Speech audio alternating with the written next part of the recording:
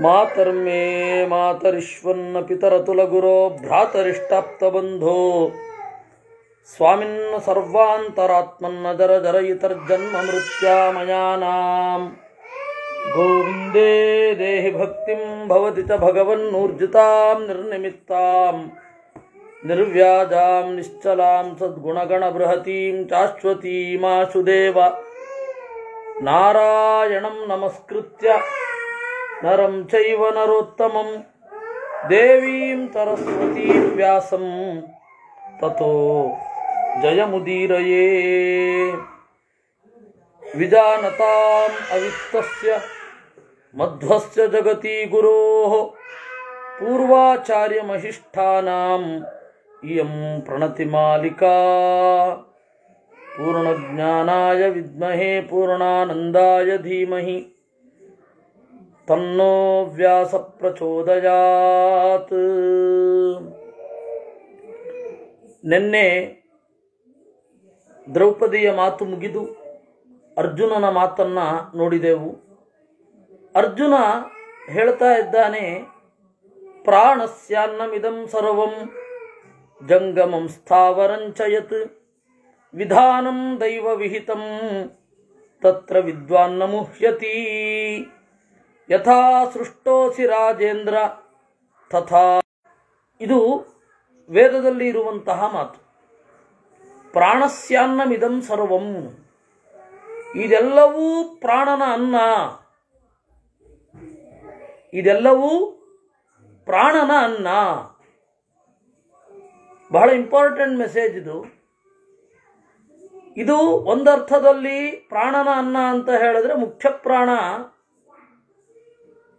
ಇದೆಲ್ಲವನ್ನ ಅನುಭವಿಸುತ್ತಾನೆ ಅಂತ. ಇನ್ನೊಂದು ಅರ್ಥದಲ್ಲಿ ಪ್ರಾಣ ಅಂತಂದರೆ ಜೀವ ಅಂತಲೇ ಇಟ್ಕೊಳ್ಳೋಣ. ಅವನು ಇದೆಲ್ಲವನ್ನು ಅನುಭವಿಸ್ತಾನೆ. ಚೇತನವನ್ನು ಅನುಭವಿಸ್ತಾನೆ. ಹೇಗೆ? ಇನ್ನೊಂದು ಚೇತನದ ಪ್ರೀತಿಯನ್ನು ಅನುಭವಿಸ್ತಾನೆ. ಇನ್ನೊಂದು ಚೇತನದ ಗುಣಗಳನ್ನು ಅನುಭವಿಸ್ತಾನೆ. ನಾವು ಒಬ್ಬರನ್ನೊಬ್ಬರು ಅನುಭವಿಸುತ್ತೇವೆ. ಹೇಗೆ? ಅವರ ಗುಣಗಳನ್ನು. ಒಬ್ಬನ ಸೌಜನ್ಯ, ಸೌಶೀಲ್ಯ, ಒಳ್ಳೆಯ ವಾಕ್ಚಾತು, ವಾಗ್ಮಿತ್ವ, ಅವನ ಹೊಳಹು, ಅವನ ಮಾತಿನ ಆಸ್ವಾದನೆ ಮೊದಲಾದವುಗಳನ್ನು ಮಾಡ್ತೇವೆ ಯಾರ್ಯಾರಿಗೆ ಯಾರ್ಯಾರು ಫಿಕ್ಸ್ ಆಗಿದಾರೋ ಅವರು. ಇವರ ಮಾತನ್ನ ಕೇಳಿ ಇವರಿಗೆ ಖುಷಿ ಆಗಬೇಕು ಅಂತ ದೇವರ ಸಂಕಲ್ಪ ಮಾಡಿರ್ತಾನೆ. ಅವರವರು ಆಯಾ ಮಾತನ್ನ ಅನುಭವಿಸ್ತಾರೆ. ಇವರು ಈ ಗೆಳೆತನವನ್ನು ಆಸ್ವಾದನೆ ಮಾಡಲಿ ಅಂತ ಹೇಳಿರ್ತಾನೆ ದೇವರು. ಆ ಗೆಳೆತನವನ್ನು ಪ್ರೀತಿಯನ್ನು ಅವರು ಅನುಭವಿಸ್ತಾರೆ. ಹಾಗೆ ಅನುಭವಿಸುತ್ತಾರೆ. ನೋಡಿ, ಚೇತನವನ್ನು ಅನುಭವಿಸೋದು ಅಂದರೆ ಹೀಗೆ. ಇನ್ನು ಅಚೇತನವನ್ನು ಅನುಭವಿಸೋದು ಅಂತಂದರೆ ರೂಪ, ಶಬ್ದ, ಸ್ಪರ್ಶ, ರೂಪ, ರಸ, ಗಂಧ ಎಲ್ಲವನ್ನು ಅನುಭವಿಸ್ತಾರೆ. ಅದರಿಂದಾಗಿ ಪ್ರಾಣಸ್ಯಾನ್ನಮಿದಂ ಸರ್ವಂ ಜಂಗಮಂ ಸ್ಥಾವರಂಚಯತ್. ಯಾರು ಯಾವುದನ್ನು ಕಬಳಿಸದೇ ಇರುವುದೇ ಇಲ್ಲ. ಯಾರು ಯಾವುದನ್ನು ಭೋಗಿಸದೇ ಇರುವುದೇ ಇಲ್ಲ. ಯಾವುದೋ ಒಂದನ್ನು ಭೋಗಿಸಲೇಬೇಕು. ಯಾವುದರ ಭೋಗವೂ ಇಲ್ಲದೆ ನಾನು ಇರ್ತೇನೆ ಅಂತ ಹೇಳಿ ಯಾವನಿಗೂ ಇರಲಿಕ್ಕಾಗಲ್ಲ. ಯಾರಾದರೂ ಏನನ್ನಾದರೂ ಅನುಭವಿಸಲೇಬೇಕು. ಈ ಹಿನ್ನೆಲೆಯಲ್ಲಿ ಉಪನಿಷತ್ತಿನಲ್ಲಿ ಹೇಳಿದ ತತ್ವ, ಅದೇ ತತ್ವವನ್ನ ಮಹಾಭಾರತದಲ್ಲಿ ಅರ್ಜುನ ಕೂಡ ಹೇಳ್ತಾನೆ, ಪ್ರಾಣಸ್ಯಾನ್ನಮಿದಂ ಸರ್ವಂ. ಜಂಗಮಂ ಸ್ಥಾವರಂಚಯತ್ ಜಂಗಮ ಅಂತಂದ್ರೆ ಓಡಾಡುವ ಪ್ರಾಣಿಗಳು. ಅದು ಎರಡೂ ಆಗಿರಬಹುದು. ತಿರಿಯಕ್ ಪ್ರಾಣಿಗಳು ಮತ್ತೆ ಸ್ಥಾವರ ಪ್ರಾಣಿಗಳು.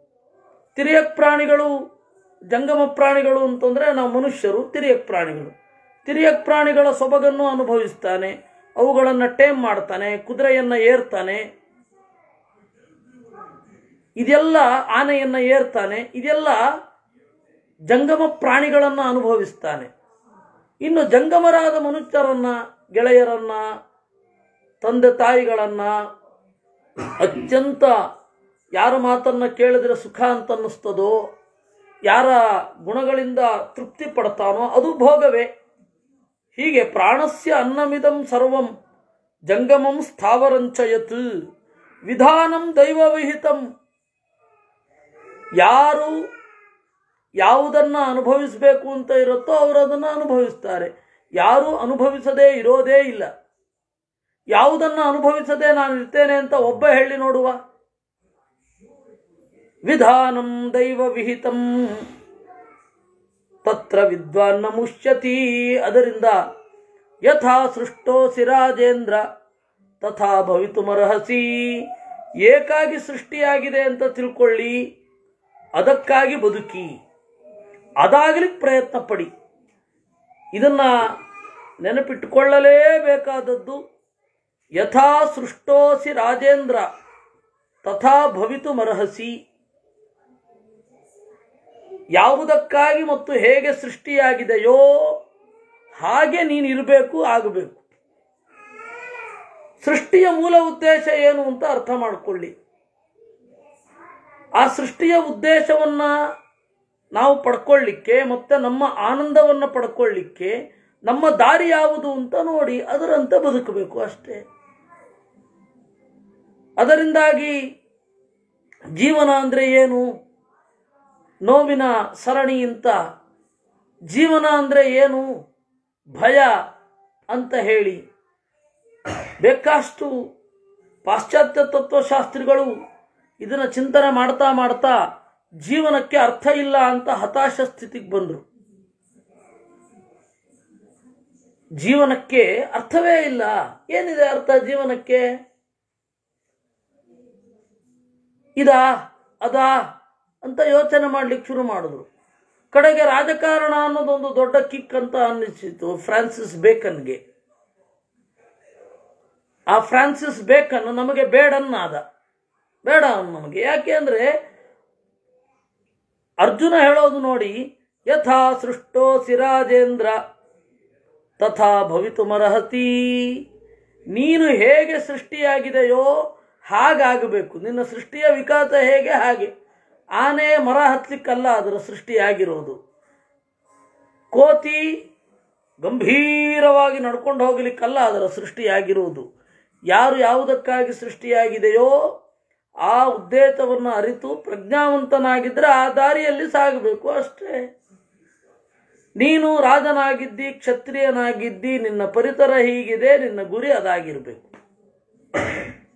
ವಿನೀತ ಕ್ರೋಧ ಹರ್ಷಾಹಿ ದಾಂತಾವನಮುಪಾಶ್ರಿತಾ ವಿನಾ ವಧಂ ನ ಕುರುವಂತಿ ತಾಪಸ ಪ್ರಾಣಯಾಪನಂ.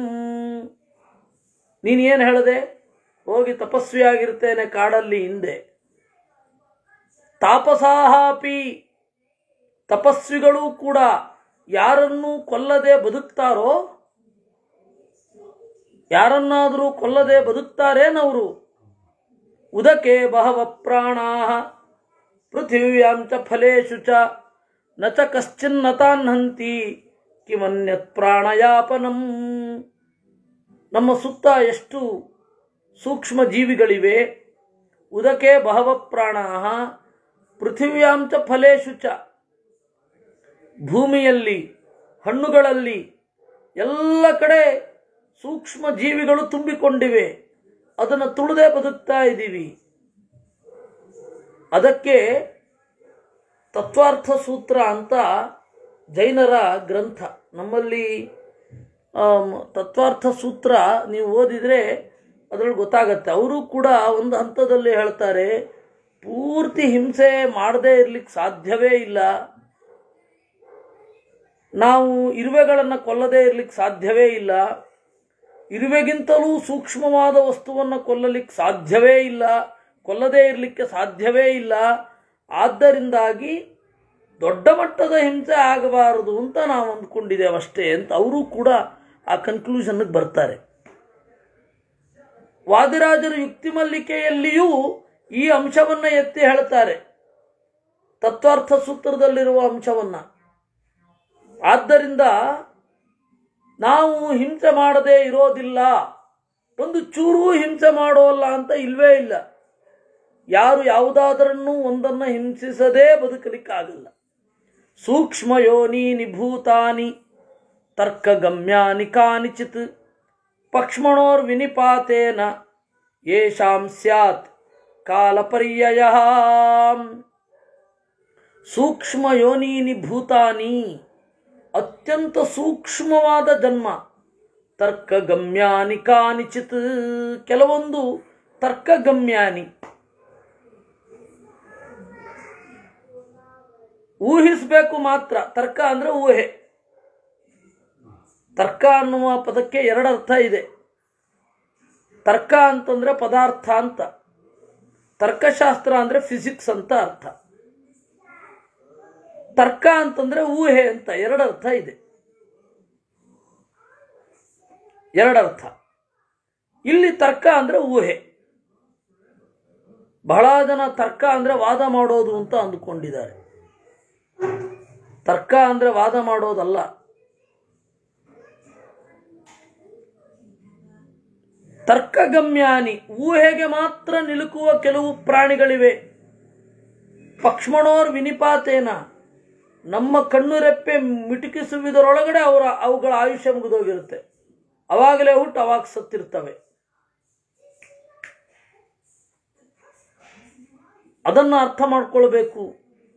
ಗ್ರಾಮ ನಿಷ್ಕ್ರಮ್ಯ ಮುನಯ, ವಿನೀತ ಕ್ರೋಧ ಮತ್ಸರಾ, ವನೇ ಕುಟುಂಬ ಧರ್ಮಾಣೋ ದೃಶ್ಯಂತೆ ಪರಿಮೋಹಿತಾ. ಕೆಲವೊಬ್ಬರು ಮುನಿಗಳು ಹಳ್ಳಿಯಿಂದ ಹೊರಗಡೆ ಹೋಗಿ ಕ್ರೋಧ, ಮಾತ್ಸರ್ಯ ಮೊದಲಾದವುಗಳನ್ನು ತೊರೆದು ಕಾಡಿನಲ್ಲಿ ಇರ್ತಾರೆ ಯಾರೋ ಒಬ್ಬಳು ಬರ್ತಾಳೆ ಚೆಲುವೆ, ಅವಳನ್ನು ಒಲಿದು ಸಂಸಾರ ಮಾಡ್ಕೊಂಡು ಇದ್ದು ಬಿಡ್ತಾರೆ. ಏನು ಮಾಡಲಿಕ್ಕಾಗತ್ತೆ? ಭೂಮಿಂ ಭಿತ್ತೌಷಧಿಶ್ಚಿತ್ವ ವೃಕ್ಷಾದೀನ್ ಅಪ್ಯಜಾನ್ ಪಶೂನ್ ಮನುಷ್ಯಾಸ್ತನ್ವತೆ ಯಜ್ಞಾನ್, ತೇ ಸ್ವರ್ಗಂ ಪ್ರಾಪ್ನುವಂತಿ ಚ. ಭೂಮಿಯನ್ನು ಸೀಳಿ, ಧಾನ್ಯವನ್ನು ಕಿತ್ತು, ವೃಕ್ಷಗಳನ್ನು ತೊಡೆದು, ಅಜಾನ್ ಪಶೂನ್ ಮೇಕೆ ಮೊದಲಾದವುಗಳನ್ನು ಕೊಂದು ಮನುಷ್ಯರು ಯಾಗ ಮಾಡ್ತಾರೆ. ಆ ಸತ್ತ ಮೇಕೆ ಮೊದಲಾದವುಗಳು ಸ್ವರ್ಗವನ್ನು ಹೊಂದುತ್ತವೆ ಕೂಡ. ಇದನ್ನ ಚಾರ್ವಾಕರು ಅವತ್ತು ತಮಾಷೆ ಮಾಡಿದ್ರು ನಮ್ಮನ್ನ. ಅವ್ರೇನು ಹೇಳ್ತಾರೆ?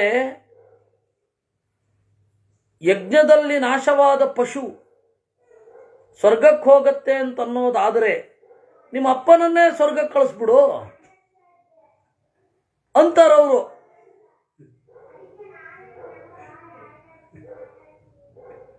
ನಿಯೋಜ್ಯೋಹಿ ನ ಕಿಂಪಿತ ನಿಮ್ಮ ಅಪ್ಪನನ್ನೇ ಬಲಿತ್ವೆಯನ್ನು ನಿಯೋಜನೆ ಮಾಡ್ಬೋದಲ್ವಾ ಬೇಗ ಸ್ವರ್ಗ ಕೊಟ್ಬಿಡು ನಿಮ್ಮ ಅಪ್ಪನಿಗೆ.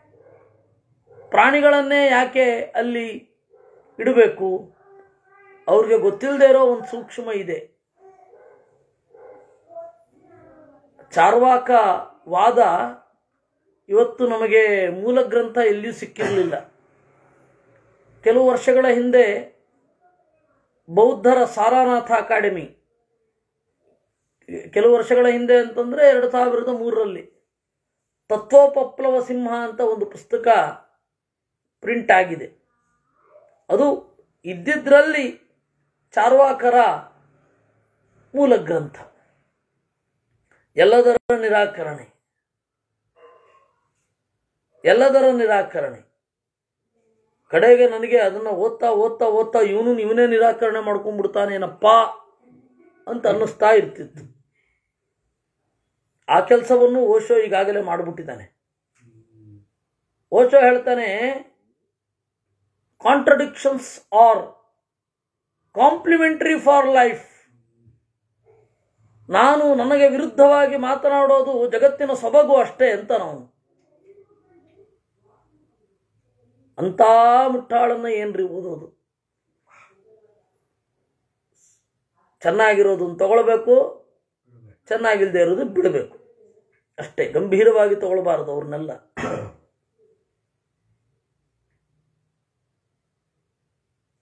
ಓಶೋ, ಜಿಡ್ಡು ಕೃಷ್ಣಮೂರ್ತಿ ಯು ಜಿ ಕೃಷ್ಣಮೂರ್ತಿ, ಉಪ್ಪಲೂರಿ ಗೋಪಾಲ ಕೃಷ್ಣಮೂರ್ತಿ ಅಂತ. ಇವ್ರನ್ನೆಲ್ಲ ನೀವು ಪಾಠ್ಯದ ದಿವಸ ಓದಿ ಅಲ್ಲೇ ಬಿಟ್ಬಿಡ್ಬೇಕು. ಅಲ್ಲಿರೋ ಒಳ್ಳೆ ಅಂಶ ತಗೊಳ್ಬೇಕು, ಕೆಟ್ಟ ಅಂಶ ತೆಗೆದು ಬಿಸಾಡ್ತಾ ಇರಬೇಕು. ಇಲ್ಲಾಂದ್ರೆ ಭಾಗವತ ಏಕಾದಶ ಸ್ಕಂದ ಹಾಗೆ ಯಾಕೆ ಹೇಳತ್ತೆ? ಆ, ನೋಡಿ, ಇವನು ಯಾರೋ ಪ್ರಶಾಂತ, ಅವನು ಜಗ್ಗಿ ವಾಸುದೇವರಾಯ ಎಂದು ಹಾಕಿದ್ದಾನೆ. ಖಯಾಸ್ ಈಸ್ ಬ್ಯೂಟಿ ಅಂತ. ಇವ್ರಿಗೆಲ್ಲ ಅದು ಏನು ಎಲ್ಲಿಂದ ಜ್ಞಾನೋದಯ ಆಗುತ್ತೋ ದೇವರಿಗೆ ಗೊತ್ತು.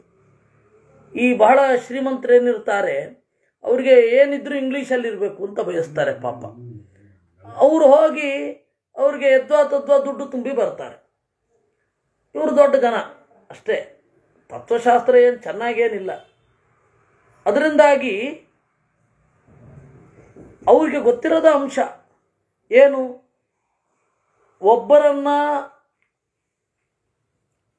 ಪ್ರಾಣಿಗಳನ್ನ ಯಜ್ಞಕ್ಕಾಗಿ ಹಿಂಸೆ ಮಾಡೋದು ಧರ್ಮ ಸಾಧನ ಆಗತ್ತೆ ಅನ್ನುವ ದೃಷ್ಟಿಯಿಂದ. ಧರ್ಮ, ಅರ್ಥ, ಕಾಮ ಅನ್ನುವ ಮೂರು ಕಾನ್ಸೆಪ್ಟ್ ಯಾರಲ್ಲಿ ಇರುತ್ತೆ, ಅವ್ರನ್ನ ಕೊಲ್ಲೋದು ಪಾಪ. ಒಬ್ಬ ಮನುಷ್ಯನನ್ನು ಬಲಿ ಕೊಡೋದು ಪಾಪ. ಯಾಕೆ ಅಂದರೆ ಅವನ ಪ್ರಜ್ಞೆ ಧರ್ಮಾರ್ಥ ಕಾಮಗಳನ್ನು ಗ್ರಹಿಸಿ ಮೋಕ್ಷದ ಕಡೆಗೆ ಯಾವಾಗ ಬೇಕಾದರೂ ಸಾಗಬಹುದು. ಧರ್ಮಾರ್ಥ ಕಾಮಗಳನ್ನು ಚೆನ್ನಾಗಿ ಮಾಡಿಕೊಂಡು ಯಾವಾಗ ಬೇಕಾದರೂ ಮೋಕ್ಷದ ಕಡೆಗೆ ಸಾಗಬಹುದು. ಹೀಗಾಗಿ ನರಮೇಧ ಅಂತ ಅನ್ನೋದು ಅಗತ್ಯ ಇಲ್ಲ. ಇನ್ನು ಕುದುರೆ ಇತ್ಯಾದಿಗಳೆಲ್ಲ ಧರ್ಮ ಸಾಧನ ಅಲ್ಲ, ಕಾಮ ಹಾಗೂ ಅರ್ಥ ಸಾಧನ ಅಷ್ಟೇ. ಇನ್ನು ಗೋವು ಧರ್ಮ ಸಾಧನ, ಹೀಗಾಗಿ ಅದನ್ನು ಕೊಲ್ಲಬೇಡಿ ಇನ್ನು ಯಾವ ಪ್ರಾಣಿಯೂ ಧರ್ಮ ಸಾಧನ ಅಲ್ಲ. ಈ ದೃಷ್ಟಿಯಿಂದ ಕೃಷ್ಣ ನೋಡಬೇಕು ಅಂತ ಹೇಳಿದ್ದಾನೆ, ಇವ್ರು ನೋಡೇ ಇಲ್ಲ. ನಾವು ನೋಡೇ ಇರಲಿಲ್ಲ ಇಲ್ಲಿ ತನಕ. ಅದರಿಂದ ಧರ್ಮಾರ್ಥ ಸಾಧನವಾದದ್ದು ಯಾವುದೋ ಅದನ್ನ ಅಡ್ಡಿ ಮಾಡಿದ್ರೆ ಅದು ಹಿಂಸೆ. ಈ ಹಿನ್ನೆಲೆಯಲ್ಲಿ ಭೂಮಿಂ ಭಿತ್ತೌಷಧಿಶ್ಚಿತ್ವ ಅವನು ಮನುಷ್ಯರು ಯಾಗ ಮಾಡ್ತಾರೆ, ಹಿಂಸೆ ಮಾಡಿ. ಹಿಂಸಿತವಾದ ಪ್ರಾಣಿಗಳು ಸ್ವರ್ಗಕ್ಕೆ ಹೋಗೋದಿಲ್ವೇನು? ಧರ್ಮ ಸಾಧನ ಆದ್ದರಿಂದ ಆದ್ದರಿಂದಾಗಿ ಹಿಂಸೆಯೋ ಅಹಿಂಸೆಯೋ ಮುಖ್ಯ ಅಲ್ಲ. ಧರ್ಮ ಸಾಧನವೋ ಅಲ್ವೋ ಅನ್ನೋದು ಮುಖ್ಯ. ಇವರಿಗೆ ಮಾಡಿದ ಹಿಂಸೆ ಧರ್ಮ ಸಾಧನ ಅಲ್ವಾ? ಅಂತ ಕೇಳ್ತಾನೆ. ಯಾರು? ಅರ್ಜುನ. ನಾನೇನು ಮಾಡಿದೆ? ಬೇರೆ ಬೇರೆ ಗ್ರಂಥಗಳಲ್ಲಿ ಇದನ್ನು ಯಾವ ರೀತಿ ಅಟ್ಯಾಕ್ ಮಾಡಿದರೆ ಅದನ್ನು ನಿಮ್ಮ ಮುಂದೆ ಇಟ್ಟೆ. ದಂಡ ನಿತ್ಯಾಂ ಪ್ರಣೀತಾಯಾಂ ಸರ್ವೇ ಸಿದ್ಧಂತ್ಯುಪಕ್ರಮ ಕೌಂತೇಯ ಸರ್ವಭೂತಾನಾಂ ತತ್ರ ಮೇ ನಾಸ್ತಿ ಸಂಶಯ. ನೋಡು, ದಂಡನೀತಿ ಇದ್ದರೆ ಎಲ್ಲವೂ ನೆಟ್ಟಿಗಿರುತ್ತೆ. ಸರ್ವೇ ಸಿದ್ಧಂತಿ ಉಪಕ್ರಮ ಯಾವ ಒಳ್ಳೆ ಉದ್ದೇಶಕ್ಕೆ ಒಬ್ಬ ಕೆಲಸ ಶುರು ಮಾಡ್ತಾನೆ, ಅದು ನೆಟ್ಟಗಾಗಲಿಕ್ಕೆ ದಂಡನೀತಿ ಇರಬೇಕು. ಇಲ್ಲ ಅಂತ ಇಟ್ಕೊಳ್ಳಿ. ದಂಡನೀತಿ ಅಂತ ಒಂದಿಲ್ಲ ಅಂತ ಇಟ್ಕೊಳ್ಳಿ. ಯಾವ ಉಪಕ್ರಮವೂ ಒಳಿತಾಗೋದಿಲ್ಲ ದಂಡಶ್ಚೇನ್ನ ಭವೆಲ್ಲೋಕೆ ಶಿಷ್ಯನ್ನಿಮಃ ಪ್ರಜಾ. ದಂಡ ಇಲ್ಲದಿದ್ದರೆ ದೊಡ್ಡ ಮೀನು ಚಿಕ್ಕ ಮೀನನ್ನು ನುಂಗುವ ಹಾಗೆ ಬಲಿಷ್ಠರು ದುರ್ಬಲರನ್ನು ನುಂಗಿಬಿಡುತ್ತಾರೆ. ಇದು ವೇದವ್ಯಾಸರು ಎರಡು ಬಾರಿ ಹೇಳಿಸಿದ್ದಾರೆ. ಒಂದು ದ್ರೌಪದಿಯೂ ಇದೇ ಮಾತನ್ನು ಹೇಳ್ತಾಳೆ, ಅರ್ಜುನನೂ ಅದೇ ಮಾತನ್ನು ಹೇಳ್ತಾನೆ ಇದೇ ಮಾತನ್ನ ಚಾಣಕ್ಯನೂ ತನ್ನ ಅರ್ಥಶಾಸ್ತ್ರದಲ್ಲಿ ಬಳಸ್ಕೊಂಡಿದ್ದಾನೆ. ಸತ್ಯಂಬತೇದಂ ಬ್ರಹ್ಮಣ ಪೂರ್ವಮುಕ್ತೋ ದಂಡ ಪ್ರಜಾ ರಕ್ಷತಿ ಸಾಧುನೀತಃ ಪಶ್ಯಾಜ್ಞಯ ಪೂತಿ ಮಾಂಸಸ್ಯ ಭೀತಾ ಸಂತರ್ಜಿತ ದಂಡ ಸತ್ಯಂ ಸತ್ಯಂಬತೇದಂ ಬ್ರಹ್ಮದೇವರು ಹೇಳಿದ್ದಾರೆ ದಂಡ ಪ್ರಜಾ ರಕ್ಷತಿ ಸಾಧುನೀತಃ. ದಂಡವನ್ನು, ದಂಡ ಇದ್ರೆ ಪ್ರಜೆಗಳನ್ನು, ಪ್ರಜೆಗಳು ಚೆನ್ನಾಗಿ ಪಾಲಿತರಾಗ್ತಾರೆ. ಪಶ್ಯ ಅಗ್ನಯ, ನೋಡು, ಅಗ್ನಿಗಳನ್ನು ನೋಡು, ಪೂತಿ ಮಾಂಸಸ್ಯ ಭೀತಾಹ ಅಗ್ನಿಗಳು ಚೆನ್ನಾಗಿ ಉರಿಯುತ್ತವೆ. ಯಾಕೆ ಗೊತ್ತಾ? ಭೀತಾಹ. ಯಾವುದೋ ಒಂದು ಕಾಣದ ಕೈನಿಂದ ಭಯಕ್ಕೊಳಗಾಗಿ ಉರಿಯುತ್ತವೆ. ಯಾವುದನ್ನೂ ಪೂತಿ ಮಾಂಸಸ್ಯ ಅತ್ಯಂತ ದುರ್ಗಂಧವಾದ ವಸ್ತುವನ್ನೂ ಸುಟ್ಟು ಬಿಡುತ್ತದೆ ಯಾಕೆ? ಯಾರ್ದೋ ಒಬ್ಬರ ಆಜ್ಞೆ ಇದೆ. ಅಂಧಂತಮ ಇವೇದಂ ಸ್ಯಾತ್. ನ ಪ್ರಜ್ಞಾಯೇತ ಕಿಂಚನ, ದಂಡಶ್ಚೇನ್ನ ಭವೆಲ್ಲೋಕೆ, ವಿಭಜನ್ ಸಾಧ್ವ ಸಾಧುನಿ. ಈ ಜಗತ್ತೆಲ್ಲ ಕತ್ತಲೋ ಕತ್ತಲಂತೆ ಆಗಿಬಿಡ್ತಾ ಇತ್ತು. ದಂಡ ಅಂತ ಒಂದು ಇರದಿದ್ದರೆ, ಇದೇ ರೀತಿಯಾದ ಮಾತನ್ನ ಕಾವ್ಯಾದರ್ಶದಲ್ಲಿ ವಿಶ್ವನಾಥ ಹೇಳ್ತಾನೆ ಅವನು ಇಮಿಡಿಯೇಟ್ ಶಂಕರಾಚಾರ್ಯ ಆದ ಕೂಡಲೇ ಬಂದವನು. ಕಾಲದಿಂದ ಅಷ್ಟು ಹತ್ತಿರ ಅಂದರೆ ಇವತ್ತಿಗೆ ಅಷ್ಟು ಹಳಬ. ಅವನು ಹೇಳ್ತಾನೆ, ಇದಮಂಧಂತಮಃ ಕೃತ್ಸನಂ ಜಾಯೇತ ಭುವನತ್ರಯಂ, ಯದಿ ಶಬ್ದಾಫಯಂ ಜ್ಯೋ ಜ್ಯೋತಿ, ವರ್ತತೆ ಶಧರಾವರಂ, ಹೆದರಾಪರಂ, ವರ್ತತೆ ಶಧರೋತ್ತರಂ, ಶಬ್ದ ಎಂಬ ಬೆಳಕು ಇಲ್ಲದಿದ್ದರೆ ಇಡೀ ಪ್ರಪಂಚ ಕತ್ತಲಾಗಿ ಉಲ್ಟಾ ಆಗಿ ಬಿಡ್ತಾ ಇತ್ತು. ಅಧರೋತ್ತರಂ, ಜಗತ್ಸ್ಯಾದ ಅಧರೋತ್ತರಂ ಅಂತ. ಎಲ್ಲಿಂದ ತೆಗೆದದ್ದು ಮಾತು? ಇದೇ ಮಾತು. ಅಂಧಂತಮ ಇವೇದಂ ಸ್ಯಾತ್, ನ ಪ್ರಜ್ಞಾಯೇತ ಕಿಂಚನ. ಅಲ್ಲಿ ಯದಿ ಶಬ್ದಾಹ್ವಯಂ ಜ್ಯೋತಿ ಜಗತ್ಸ್ಯಾದ ಅಧರೋತ್ತರಂ. ಅಷ್ಟು ಮಾತ್ರ ವ್ಯತ್ಯಾಸ. ಇಲ್ಲಿ ಏನಿದೆ? ದಂಡಶ್ಚೆ ನಭವೇಲ್ಲೋಕೆ ವಿಭಜನ್ ಸಾಧ್ವ ಸಾಧುನಿ. ಒಳಿತು ಕೆಡುಕುಗಳನ್ನು ವಿಭಾಗಿಸದ ದಂಡ ಇರದಿದ್ದರೆ ಇಡೀ ಪ್ರಪಂಚಕ್ಕೆ ಒಂದು ಪರ್ಪಸ್ಸೇ ಇರ್ತಿರಲಿಲ್ಲ. ಯೇ ಹಿ ಸಂಭಿನ್ನ ಮರ್ಯಾದಾ ನಾಸ್ತಿಕಾ ವೇದ ನಿಂದಕಾ ತೇಪಿ ಭಾವಾಯ ಕಲ್ಪಂತೆ ದಂಡೇನೋಪನಿಪೀಡಿತಾ ಯಾರು ಸಂಭಿನ್ನ ಮರ್ಯಾದಾ ಜಗತ್ತಿನ ಎಲ್ಲ ಸಹಜವಾದ ನಡೆಯನ್ನು ಧಿಕ್ಕರಿಸಿದವರು, ವೇದ ನಿಂದಕರು, ನಾಸ್ತಿಕರು, ಅವರೂ ಕೂಡ ಒಂದು ಮಟ್ಟದಲ್ಲಿ ಜೀವನ ಮಾಡ್ತಾ ಇರ್ತಾರೆ ಅಂದರೆ ಅದಕ್ಕೇನು ಕಾರಣ ಅಂದರೆ ದಂಡ. ನಾವು ನಾಸ್ತಿಕರಾಗಲು ಯಾಕೆ ಹಾತೊರೆಯುವುದು? ಯಾವ ಕಟ್ಟುಪಾಡುಗಳು ಇರದೇ ಇರಬಹುದು ಅಂತ ಮೂಲಭೂತವಾಗಿ ಅದು. ಯಾರೋ ಮಾಡಿರುವ ಕಟ್ಟುಪಾಡನ್ನು ನಾವ್ಯಾಕೆ ಅನುಸರಿಸಬೇಕು ಅಂತನ್ನುವ ಈಗೋ ಜಾಗೃತವಾದಾಗ ನಾಸ್ತಿಕತೆಯ ತೀವ್ರತೆಗೆ ಹೋಗೋದು. We don't know who is there ಆದರೆ ಅವನ್ಯಾರೋ ನಮಗೆ ತಿಳಿಯದವನು, ಗೊತ್ತಿರದವನು, ಕಾಣದವನು ಮಾಡಿದ ರೂಲ್ಸ್ಗಳನ್ನು ರೆಗ್ಯುಲೇಷನ್ಸ್ಗಳನ್ನು ನಾವು ಪಾಲನೆ ಮಾಡಬೇಕು.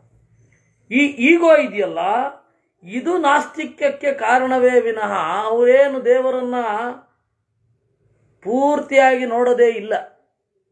ಪೂರ್ತಿಯಾಗಿ ಇಲ್ಲ, ಎಲ್ಲೂ ಕಂಡಿಲ್ಲ ಅಂತ ಹುಡುಕಿ ಬಂದಿಲ್ಲ. ಅವ್ರಿಗಿಷ್ಟವಾದ ವಾದವನ್ನು ಅವರು ಸ್ವೀಕಾರ ಮಾಡುತ್ತಾರೆ. ಯಾಕೆಂದ್ರೆ ಮೂಲಭೂತವಾಗಿ ಇದಿರುತ್ತೆ. ತೇಪಿ ಭಾವಾಯ ಕಲ್ಪಂತೆ ಅವರಿಗೂ ಕೂಡ ಒಂದು ಸಭ್ಯ ಸಮಾಜದ ಬಾಳು ಇರುತ್ತೆ. ಅವರು ಎದ್ದೋ ತದ್ದೋ ಪ್ರವೃತ್ತರಾಗಲ್ಲ. ಮನಸ್ಸಿನಲ್ಲೇ ಹಾಗೆ ಬಂಡಾಯ ಹೇಳ್ತಾ ಇರ್ತಾರೆ. ಹಾಗೆ ಬಂಡಾಯ ಎದ್ದವನು ಕ್ಯಾಲಿಗುಲ ಮಾತ್ರ. ಕ್ಯಾಲಿಗುಲ ಅಂತ ಹೇಳಿ ಒಬ್ಬ ಬೇರೆ ದೇಶದ ದೊರೆ. ಸಾಮಾನ್ಯ ಆ ತರಹದ ದೊರೆಗಳು ಬೇಕಾಷ್ಟು ಜನ ಇದ್ದಾರೆ. ಅವ್ರಿಗೆ ದೇವರ ಸೃಷ್ಟಿಯನ್ನೆಲ್ಲ ಧಿಕ್ಕರಿಸಬೇಕು ಅಂತ. ದೇವರ ಇದನ್ನೆಲ್ಲ ಧಿಕ್ಕರಿಸಬೇಕು. ನಮಗಿಷ್ಟ ಬಂದಾಗಿರಬೇಕು ಅಂತ ಹೇಳಿ ಬೇಕು ಸತ್ತೋದ್ರು ಎಷ್ಟು ಅನ್ಯಾಯ ಮಾಡ್ತಾ ಇದ್ರು ಅಂತ ಹೇಳಿ ಓದಿ ತಿಳಿಯುವುದು. ಈಗೇನು? ಗೂಗಲ್ ಇದೆ. ಕ್ಯಾಲಿಗುಲಾ ಅಂತ ಹೊಡೆದ್ರೆ ಅವನ ಜೀವನ ಚರಿತ್ರೆ ಎಲ್ಲ ಬರುತ್ತೆ. ಇಲ್ಲ ಅಂತಂದರೆ ವಿಲ್ ಡ್ಯುರಾಂಟರ ಸ್ಟೋರಿ ಆಫ್ ಸಿವಿಲೈಸೇಷನ್ನಲ್ಲಿ ಇರುತ್ತೆ.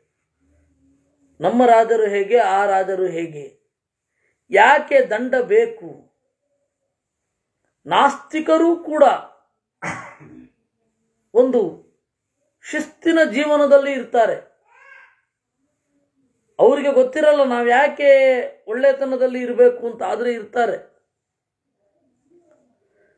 ಸರ್ವೋ ದಂಡಜಿತೋ ಲೋಕೋ ದುರ್ಲಭೋ ಹಿ ಶುಚಿರ್ನರ, ದಂಡಸ್ಯ ಹಿ ಭಯಾದ್ಭೀತೋ ಭೋಗಾಯಾಪಿ ಪ್ರಕಲ್ಪತೆ. ಎಲ್ಲರೂ ದಂಡದಿಂದ ಹೆದರಿದ್ದಾರೆ ಒಳಗಡೆಯಿಂದ. ಯಾವ ದಂಡವೂ ಇಲ್ಲ ಅಂತ ಹೇಳಿ ದೇವತೆಗಳು ಹೇಳಿದರೂ ಕೂಡ, ಇಲ್ಲ, ಶುಚಿಯಾಗಿ ನಾನು ಇರ್ತೇನೆ ಅಂತ ಅನ್ನುವವ ಯಾರು? ಅವನು ಸ್ಥಿತಪ್ರಜ್ಞೆ ಮಾತ್ರ ಆಗ್ಲಿಕ್ಕೆ ಸಾಧ್ಯ. ಸ್ಥಿತಪ್ರಜ್ಞ ಅಂದರೆ ದೇವರನ್ನು ಕಂಡವ. ಅವನೊಬ್ಬ ಮಾತ್ರ. ಅವನಿಗೆ ಯಾವ ನೀತಿಶಾಸ್ತ್ರವೂ ಬೇಡ, ಹಾಗೆ ಸಹಜವಾಗಿ ನೀತಿಯಲ್ಲಿ ಇದ್ದು ಬಿಡ್ತಾನೆ ಆ ಥರದವ್ರು ಎಷ್ಟು ಜನ ಇದ್ದಾರೆ? ಚಾತುರ್ವರ್ಣ್ಯ ಪ್ರಮೋಹಾಯ ಸುನೀತಿಕರಣಾಯ ಚ ದಂಡೋ ಹಿ ವಿಹಿತೋ ಧಾತ್ರ ಧರ್ಮಾರ್ಥೌ ಚಾಪಿ ರಕ್ಷಿತು ದಂಡ ಇರೋದೇ ಚಾತುರ್ವರ್ಣ್ಯದವರು ದಾರಿ ತಪ್ಪದಿರಲಿ ಅಂತ. ಚಾತುರ್ವರ್ಣ್ಯ ಅಂತ ಹೇಳಿದ್ರೆ ಎರಡು ತರಹದ ಅರ್ಥ ಇದೆ. ಮಧ್ವಾಚಾರ್ಯರು ಹೇಳಿದ್ದು, ಒಂದು ಸ್ವಾಭಾವಿಕೋ ಬ್ರಾಹ್ಮಣಾದಿ ಸಮಾಧ್ಯೈರೇವ ಭಿದ್ಯತೆ. ಒಂದು ಸಹಜ ಸಿದ್ಧವಾದ ಒಳ್ಳೆಯ ಗುಣಗಳು, ಅದು ಬ್ರಾಹ್ಮಣ್ಯ, ಕ್ಷತ್ರಿಯತ್ವ, ವೈಶ್ಯತ್ವ ಮತ್ತು ಶೂದ್ರತ್ವ ಅಂತನ್ನುವ ಗುಣಗಳು. ಸಾಧನೆಗೆ ಯೋಗ್ಯರಾದವರು ಅವರು ನಾಲ್ಕು ಜನ ಇರ್ತಾರೆ. ಇನ್ನು ಹೊರಗಡೆ ಎದ್ದು ಪ ಪ- ತಂದೆಯಿಂದ ಬರುವಂತಹ ಬ್ರಾಹ್ಮ, ಅದು ಸಹಜವಾಗಿರೋದು, ಅದು ಒಬ್ಬ ಶೂದ್ರ ಬ್ರಾಹ್ಮಣದಲ್ಲಿ ಇರ್ಬೋದು, ಅದು ನೀವು ಮುಂದೆ ಬರುತ್ತೆ, ಹೇಳ್ತಾರೆ. ಆ ಎರಡು ತರಹದ ವರ್ಣ ಸರಿಯಾಗಿ ನಡಿಬೇಕು ಅಂದರೆ ದಂಡ ಬೇಕು. ಇನ್ನು ಸುನೀತಿಕರಣಾಯಚ ನೀತಿ. ಅದರಿಂದಾಗಿ ಧರ್ಮಾರ್ಥಗಳನ್ನು ರಕ್ಷಣೆ ಮಾಡಲಿಕ್ಕಾಗಿಯೇ ದಂಡ ಇರೋದು. ಯದಿ ದಂಡಾನ್ನ ಬಿಭಯು ವಯಾಂಸಿ ಶ್ವಾಪದಾನಿ ಚ. ಹನ್ಯು ಪಶೂನ್ ಮನುಷ್ಯಾಂಶ್ಚ, ಯಜ್ಞಾರ್ಥಾನಿ ಹವಿಂಶಿಚ. ಚ ದಂಡ ಇರದಿದ್ದರೆ ಹಕ್ಕಿಗಳು ಕೂಡ ನೆಟ್ಟಿಗಿರಲ್ಲ. ಪ್ರಾಣಿಗಳು ನೆಟ್ಟಿಗಿರಲ್ಲ. ಹೊಟ್ಟೆ ತುಂಬಿದ ಮೇಲೆ ಅವು ಯಾಕೆ ಸುಮ್ಮನೆ ಇರ್ತವೆ? ನೋ ಒನ್ ನೋಸ್ ಯಾರಿಗೂ ಗೊತ್ತಿಲ್ಲ. ಹೊಟ್ಟೆ ತುಂಬಿದ ಮೇಲೆ ಯಾಕೆ ಸುಮ್ಮನೆ ಇರಬೇಕು ಪ್ರಾಣಿಗಳು ಕೂಡ, ಸಿಂಹ, ಹುಲಿ, ಅದು ಒಂದು ಜಿಂಕೆಯ ಕತ್ತಿಗೆ ಬಾಯಿ ಹಾಕತ್ತೆ. ಅದು ನೀವು ಆ ವಿಡಿಯೋ ನೋಡಿರ್ಬೋದು. ಅದು ಗರ್ಭಿಣಿ ಅಂತ ಗೊತ್ತಾದ ಕೂಡಲೇ ಬಿಟ್ಟುಬಿಡುತ್ತೆ ಯಾವ ನೀತಿಯ ಪ್ರಚೋದನೆ ಅದು? ಗರ್ಭಿಣಿಯನ್ನು ಕೊಲ್ಲಬಾರದು.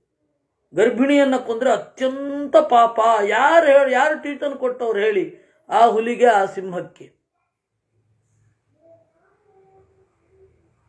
ಅದರಿಂದ ಒಳಗಡೆ ದಂಡದ ಗೆರೆ. ಸುಪ್ತವಾಗಿ, ಗಟ್ಟಿಯಾಗಿ ಅವರಲ್ಲಿ ಉಂಟು. ಆ ದಂಡ ಪೂರ್ತಿ ಇದಾಗಬಾರದು ಅಂತಲೇ ಅವನು ಆನಂದವರ್ಧನ ಒಂದು ಮಾತು ಹೇಳ್ತಾನೆ ಚರ್ಮ ಅಂತ ಒಂದು ಇಲ್ಲದೆ ಹೋದರೆ ಮನುಷ್ಯರಿಗೆ, ಒಳಗಡೆ ಇದ್ದ ಮಾಂಸ ಎಲ್ಲ ಹೊರಗಡೆ ಕಾಣೋದು ಅಂತಲೇ ಆಗಿದ್ರೆ ಯದಿ ನಾಮಾಸ್ಯ ಕಾಯಾಸ್ ಕಾಯಸ್ಯ. ಚರ್ಮಣ ವೇಷ್ಟನಂ ನಚೇತ್ ಚೇತ್. ದಂಡಮಾದಾಯ ತರಬೇತು ಇನ್ನೇನು ಕೆಲಸ ಇಲ್ಲ. ಒಂದೊಮ್ಮೆ ಚರ್ಮ ಅಂತನ್ನುವ ಕವರ್ ಇಲ್ಲದೆ ಹೋಗಿದ್ದಿದ್ರೆ ಬರೇ ಕೋಲ್ ಹಿಡ್ಕೊಂಡು ಕಾಗೆನ, ಗೂಬೇನ ಓಡಿಸೋದೇ ಕೆಲಸ ಆಗ್ಬಿಡ್ತಾ ಇತ್ತು. ಇನ್ನೇನು ಮಾಡ್ಲಿಕ್ಕೆ ಆಗ್ತಾ ಇರಲಿಲ್ಲ. ದೇವ್ರ ದಯೆಯಿಂದ ಚರ್ಮ ಅಂತ ಒಂದು ಕವರ್ ಇದೆ. ಅದರಿಂದಾಗಿ ಒಳಗಡೆ ಇರುವ ಮಾಂಸ ಕಾಣಲ್ಲ. ಅದಕ್ಕೆ ಹಕ್ಕಿಗಳೆಲ್ಲ ನೋಡಿಲ್ಲ, ಅದನ್ನೆಲ್ಲ ಹೇಳ್ತಾರೆ. ಸೂಚ್ಯವಾಗಿ ಇದೆ.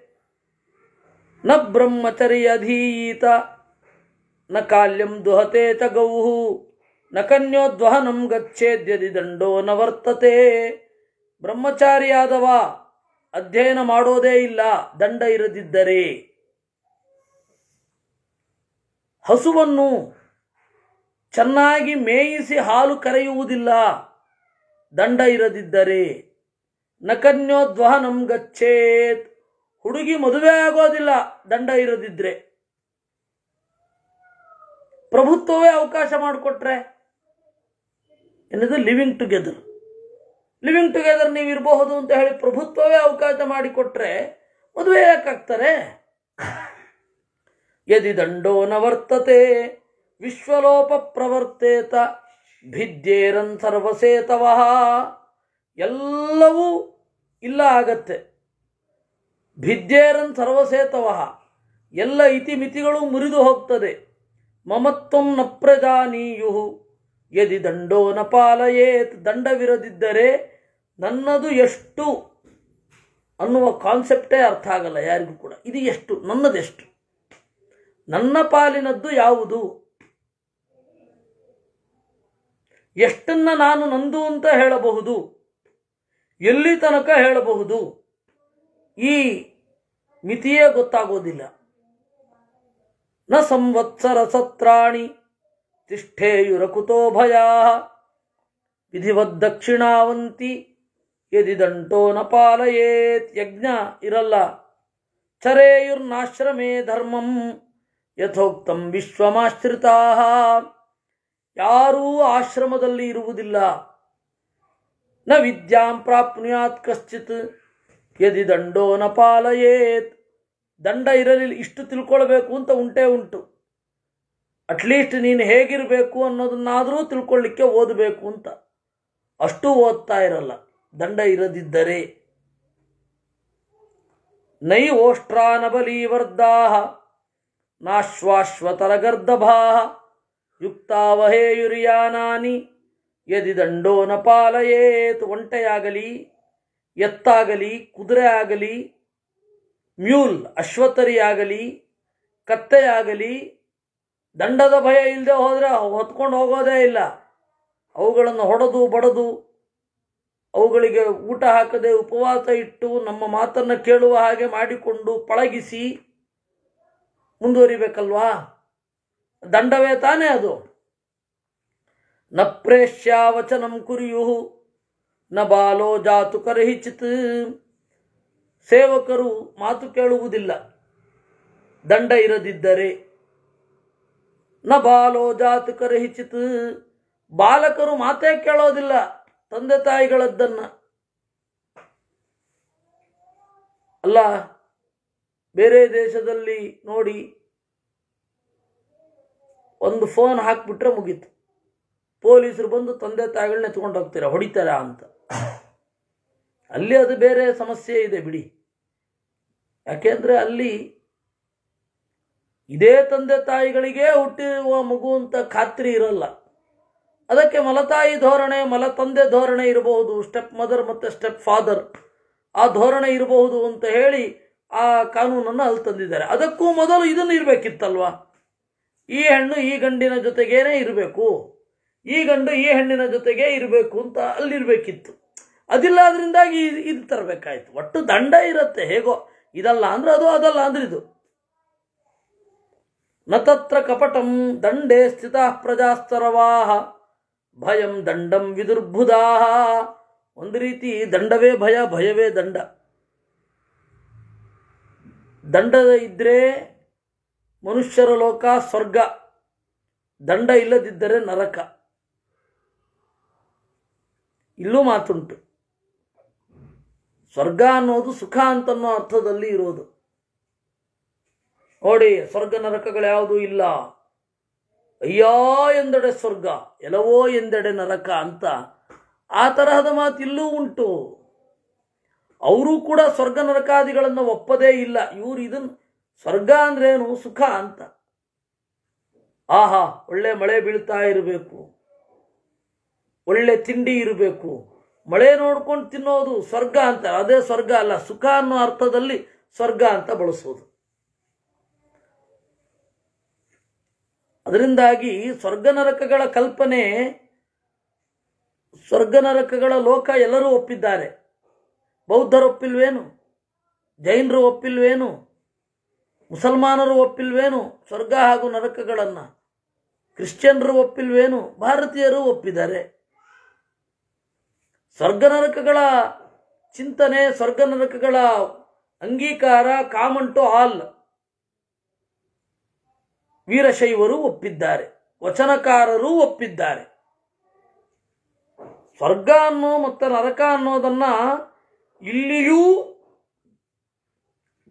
ಸುಖ ಹಾಗೂ ದುಃಖಕ್ಕೆ ಪರ್ಯಾಯ ಪದವಾಗಿ ಬಳಸೋದು. ನೋಡಿ, ಇಲ್ಲಿ ಅದೇ ರೀತಿ ಇದೆ. ದಂಡ ಇದ್ರೆ ಮನುಷ್ಯರ ಲೋಕವೇ ಸ್ವರ್ಗ. ದಂಡ ಇಲ್ಲದೆ ಹೋದರೆ ಮುನಿತರ ಲೋಕವೇ ನರಕ ಅಂತ. ನ ತತ್ರ ಕಪಟಂ ಪಾಪಂ ವಂಚನಾವಾಪಿ ದೃಶ್ಯತೆ. ದಂಡ ಇತ್ತು ಅಂತಂದ್ರೆ ಮೋಸ ಯಾವುದೂ ಇರಲ್ಲ.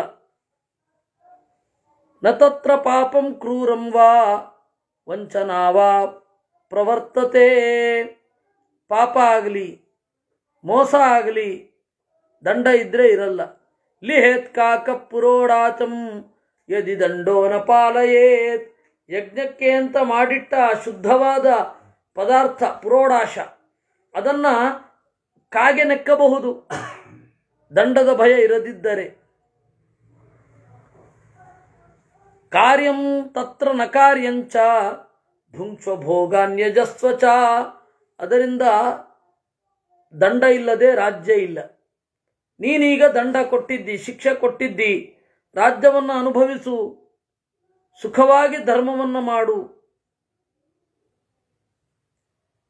ಅರ್ಥೇ ತರವತಮಾರಂಭಾತ್ ಸಮಾಯಾತಾನತಂ ಚಯ ಸಚ ದಂಡೇ ತಮಾಯತ್ತಃ ಪಶ್ಯ ದಂಡಸ್ಯ ಗೌರವಂ ಅರ್ಜುನ ಅರ್ಥಶಾಸ್ತ್ರಜ್ಞ ಒಳ್ಳೆ ಎಕನಾಮಿಕ್ಸಿನಲ್ಲಿ ಪರಿಣತ. ಹೀಗಾಗಿ ಮತ್ತೆ ಅಲ್ಲಿಗೆ ಬರ್ತಾನೆ.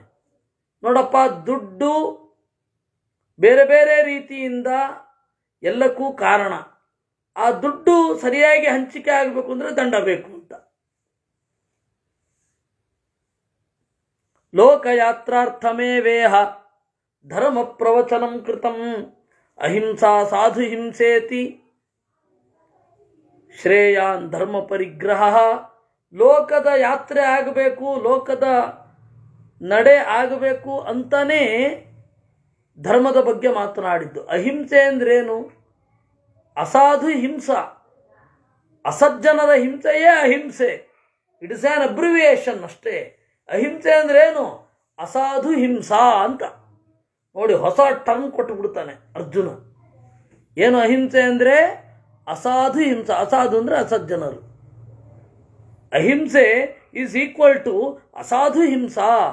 ನಾತ್ಯಂತಂ ಗುಣವತ್ ಕಿಂಚಿತ್. ನ ಚಾಪ್ಯತ್ಯಂತ ನಿರ್ಗುಣಂ, ಉಭಯಂ ಸರ್ವಕಾರ್ಯೇಷು, ದೃಶ್ಯತೆ ಸಾಧ್ವಸಾಧು ಚ. ನಾತ್ಯಂತಂ ಗುಣವತ್ ಕಿಂಚಿತ್. ಯಾವುದು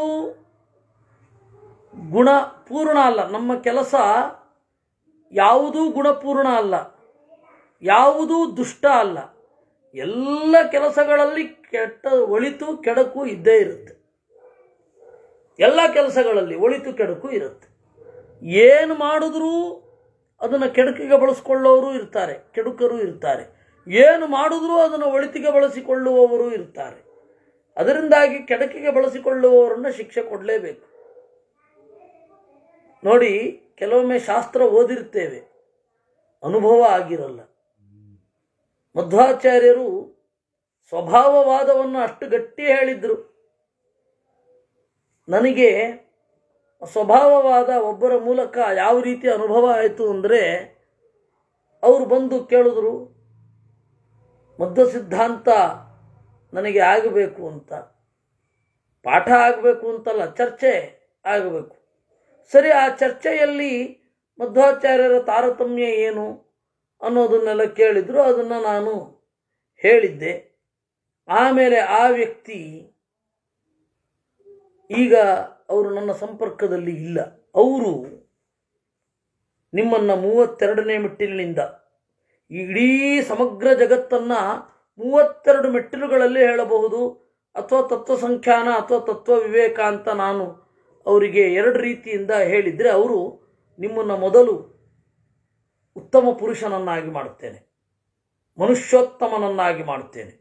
ಆಮೇಲೆ ಮನುಷ್ಯ ಗಂಧರ್ವನನ್ನಾಗಿ ಮಾಡುತ್ತೇನೆ. ಆಮೇಲೆ ದೇವಗಂಧರ್ವನನ್ನಾಗಿ ಮಾಡುತ್ತೇನೆ. ಆಮೇಲೆ ದೇವತೆಯನ್ನಾಗಿ ಮಾಡುತ್ತೇನೆ. ಆಮೇಲೆ ತತ್ವಾಭಿಮಾನಿ ದೇವತೆಯನ್ನಾಗಿ ಮಾಡುತ್ತೇನೆ. ಆಮೇಲೆ ನಿಮ್ಮನ್ನ ರಾಮನನ್ನಾಗಿ, ಬ್ರಹ್ಮನನ್ನಾಗಿ ಮಾಡ್ತೇನೆ ಅಂತ ಹೊರಗಡೆ ಎಲ್ಲ ಹೇಳ್ತಾ ಇದ್ದಾರೆ. ನನಗೆ ಶಾಕ್. ಇದೇನಿದು? ನಾನು ಹೇಳಿದ್ದು ಅವರಿಗೆ ತತ್ವಶಾಸ್ತ್ರವನ್ನಷ್ಟೇ. ಮಧ್ವರ ಶಾಸ್ತ್ರದ ಪ್ರಬಲ ಯುಕ್ತಿಗಳನ್ನ ಬಾಗಿ ಒಪ್ಕೊಂಡಿದ್ದಾರೆ ಅಂತ ನಾನು ಅನ್ಕೊಂಡಿದ್ದೆ. ಆದರೆ ಅವರು ಅದನ್ನೇ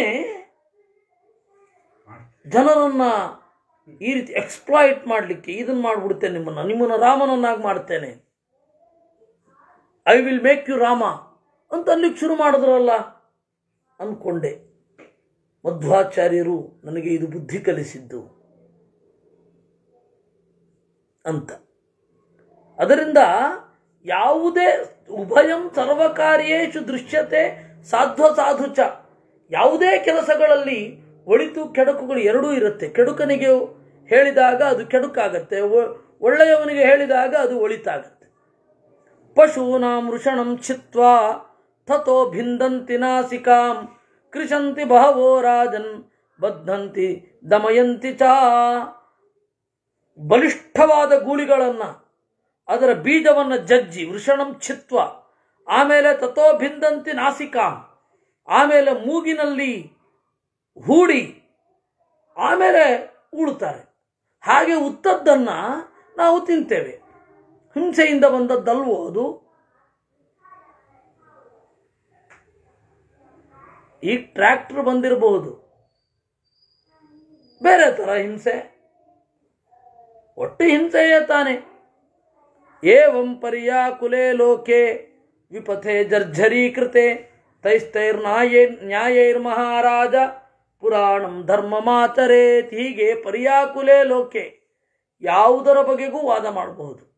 ನೀವು ಏನನ್ನು ಹುಡುಕಿದ್ರೂ ಸಿಗುತ್ತೆ. ನೀವು ರೈಟ್ ಇಷ್ಟ ನೀವು ಸರ್ಚ್ ಮಾಡೋದನ್ನು ಅವ್ರು ನೋಡಿರ್ತಾರೆ ಕಳ್ಳಗಣ್ಣಿನಿಂದ. ನಿಮ್ಮ ಮೊಬೈಲಿಗೆ ಬರೇ ರೈಟಿಸ್ಟ್ಗಳದ್ದು ಹಾಕ್ತಾ ಹೋಗ್ತಾರೆ. ನೀವು ಯಾವುದನ್ನು ಹುಡುಕ್ತೀರಾ ಅವ್ರಿಗೆ ಗೊತ್ತಾಗತ್ತೆ. ನಿಮಗೇನು ಬೇಕೋ ಅದನ್ನೇ ಕೊಡ್ತಾ ಹೋಗ್ತಾರೆ. ನೀವು ಲೆಫ್ಟಿಸ್ಟಾ, ನಿಮಗೆ ಬೇಕಾದದ್ದನ್ನು ಕೊಡ್ತಾ ಹೋಗ್ತಾರೆ ಅವರು. ಅದರಿಂದ ನಾನು ವಾಟ್ಸಪ್ ನೋಡಿ ಗೂಗಲ್ ಗುರು ಹತ್ರ ಹೋಗಿ ನಾನೊಂದು ತತ್ವವನ್ನು ತಿಳ್ಕೊಳ್ತೇನೆ ಅಂತ ಮಾತ್ರ ಹೋಗಬೇಡಿ. ಯಾಕೆಂದರೆ ನಿಮಗೇನು ಬೇಕೋ ಅದನ್ನು ಕೊಡ್ತಾರೆ. ಸತ್ಯ ಏನೋ ಅದನ್ನೇನು ತೋರಿಸಲ್ಲ. ಅದು ನೀವೇ ಆ ದಾರಿಯಲ್ಲಿ ಸಾಗಬೇಕು. ನೋಡಿ, ಅರ್ಜುನ ಅವತ್ತು ಹೇಳಿದ್ದು, ಏವಂ ಪರ್ಯಾಕುಲೇ ಲೋಕೆ ವಿಪಥೆ ಜರ್ಜರೀಕೃತೆ. ಹೀಗೆ ಎಲ್ಲ ಜನರೂ ಕೂಡ ಬೇರೆ ಬೇರೆ ದಾರಿಯಲ್ಲಿ ನುಗ್ಗಿ ಮುಗ್ಗಿ ಹೋಗಿರಲು ತೈಸ್ತೈರ್ ನ್ಯಾಯೈಹಿ ಬೇರೆ ಬೇರೆ ತರಹದ ನ್ಯಾಯಗಳಿಂದ, ಯುಕ್ತಿಗಳಿಂದ ಬಹಳ ಹಿಂದಿನ ಧರ್ಮವನ್ನು ಆಚರಿಸಬೇಕು. ಯಜದೇಹಿ ಪ್ರಜಾರಕ್ಷ, ಸ್ವಧರ್ಮಮನುಪಾಲಯ, ಅಮಿತ್ರಾಂಜಹಿ ಕೌಂತೇಯ, ಮಿತ್ರಾಣಿ ಪರಿಪಾಲಯ. ಓ ದೊರೆಯೇ, ದೇವತೆಗಳನ್ನು ಪೂಜಿಸು, ದಾನ ಮಾಡು, ಪ್ರಜೆಗಳನ್ನು ರಕ್ಷಿಸು, ನಿನ್ನ ಧರ್ಮವನ್ನು ಪಾಲಿಸು, ಹಗೆಗಳನ್ನು ಕೊಲ್ಲು, ಮಿತ್ರರನ್ನ, ಗೆಳೆಯರನ್ನು ಪಾಲಿಸು. ಮಾಚತೆ ನಿಜ್ಞತಶತ್ರೂನ್ ಮನ್ಯುರ್ಭವತು ಪಾರ್ಥಿವ, ನ ತತ್ರ ಕಿಲ್ಬಿತಂ. ಕಿಂಚಿತ್ ಹಂತುರ್ಭವತಿ ಭಾರತ. ಆದರೆ ವೈಯಕ್ತಿಕ ಗ್ರಜ್ಜಿನಿಂದ ಶತ್ರುಗಳನ್ನು ಕೊಲ್ಲಬೇಡ. ತತ್ವವಿರೋಧಿಗಳು ಅಂತಷ್ಟೇ ಕೊಲ್ಲು.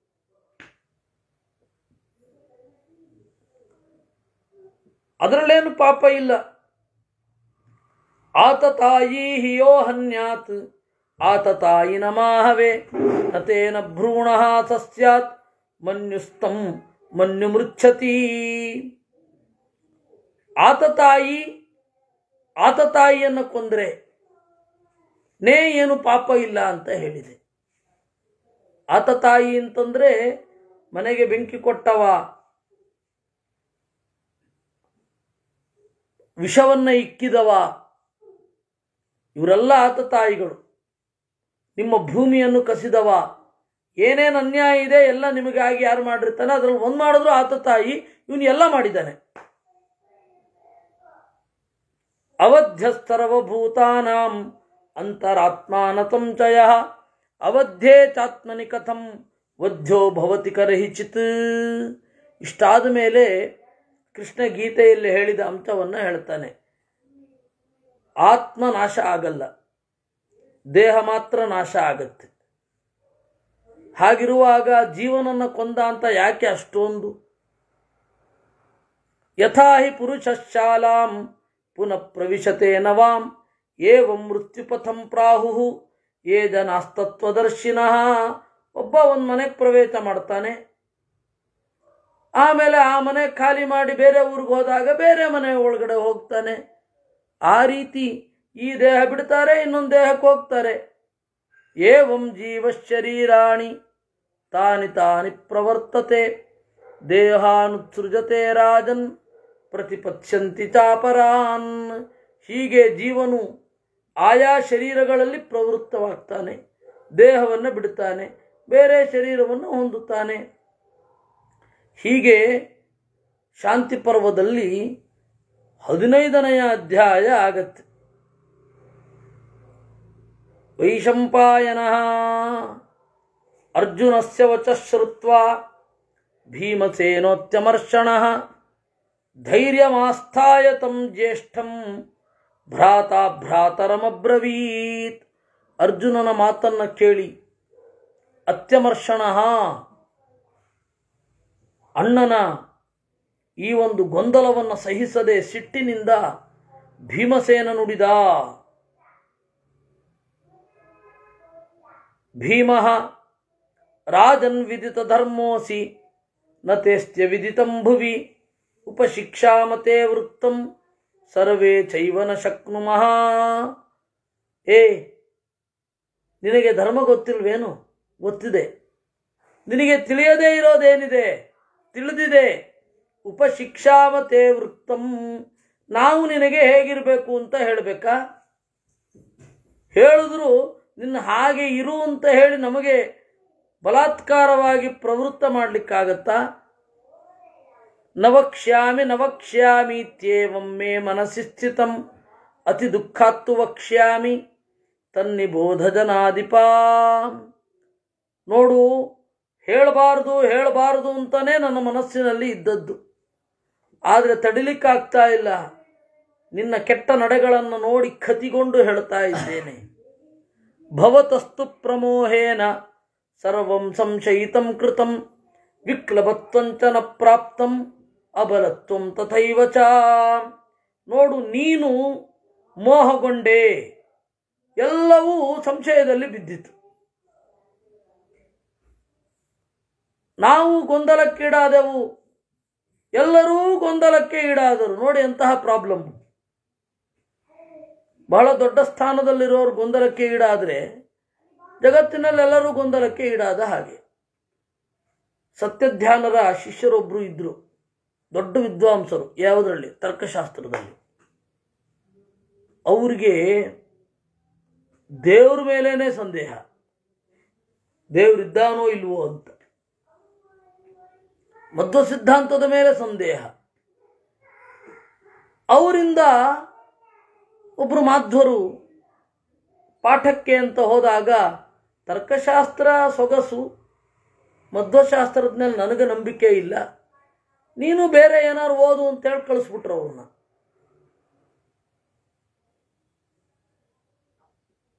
ಅವರು ಗೊಂದಲಪುರ.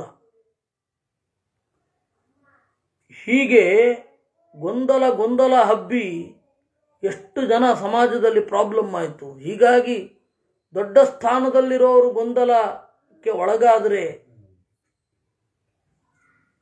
ಸುಧಾಮಂಗಳ ಮಾಡಿರ್ತಾರೆ ಅಂತ. ಎಷ್ಟು ಜನ ಸುಧಾಮಂಗಳ ಮಾಡಿ ನಾಸ್ತಿಕರಾದವರಿದ್ದಾರೆ? ಸುಧಾ ಓದಿ ನಾಸ್ತಿಕರಾದವರಿದ್ದಾರೆ. ಇತ್ತೀಚೆಗೆ ಅಂಥವ್ರು ಯಾರು ಬರ್ತಾ ಇಲ್ಲ. ಯಾಕೆಂದ್ರೆ ಅವರು ಸುಧಾಯಿಂದ ರೆಕಗ್ನಿಷನ್ ಇರುತ್ತಾ ಅಂತ ಅಷ್ಟೇ ನೋಡುವವರು ಇತ್ತೀಚೆಗೆ ಬರ್ತಾ ಇದ್ದಾರೆ.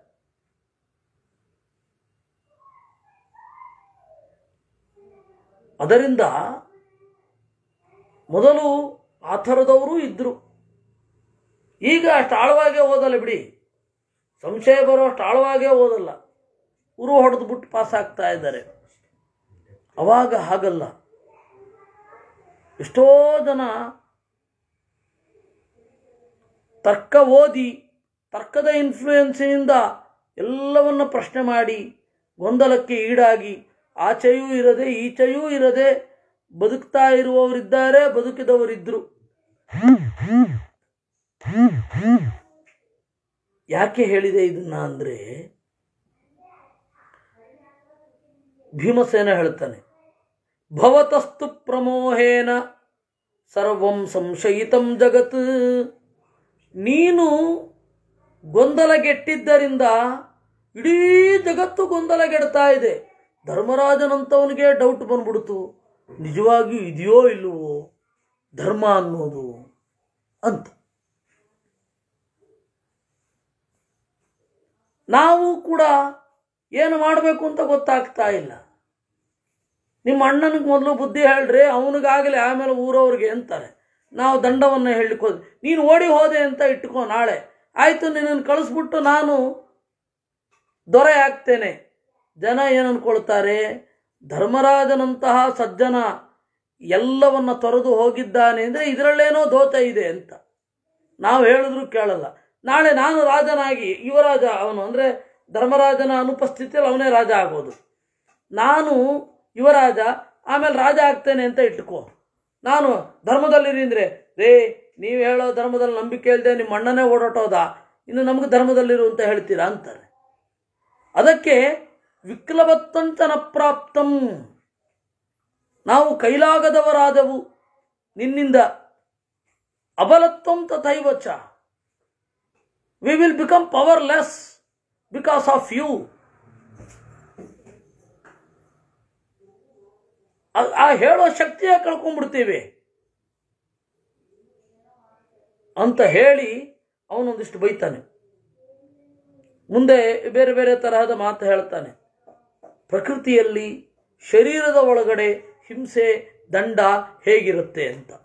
ಅದು ದ್ವಿಧೋ ಜಾಯತೆ ವ್ಯಾಧಿ ಶಾರೀರೋ ಮಾನಸಸ್ತತ. ರೋಗದ ಬಗ್ಗೆ ಹೇಳ್ತಾನೆ. ರೋಗ ಒಟ್ಟಾರೆ ರೋಗ ಅಂದ್ರೇನು ರೋಗದ ಉಪಶಮನ ಹೇಗೆ? ಅದರಲ್ಲಿ ಯಾವ ರೀತಿ ದಂಡ, ಹಿಂಸೆ ಮೊದಲಾದವುಗಳೆಲ್ಲ ನೆಲೆಗೊಂಡಿದೆ ಅಂತ. ಶರೀರದ ಒಳಗಡೆಯ ಸಮಸ್ಯೆಯ ಬಗ್ಗೆ ಹೇಳ್ತಾನೆ. ಅದನ್ನು ಮತ್ತೆ ಹಿಂದಿನದ್ದನ್ನು ನೆನಪಿಸ್ತಾನೆ. ಅದನ್ನೆಲ್ಲ ಸೋಮವಾರ ನೋಡೋಣ. ನಾಳೆ ಶನಿವಾರ ಭಾನುವಾರ. ಯಥಾ ಪ್ರಕಾರ ರಾಮಾಯಣ ಇರುತ್ತೆ. ಕೃಷ್ಣಾರ್ಪಣ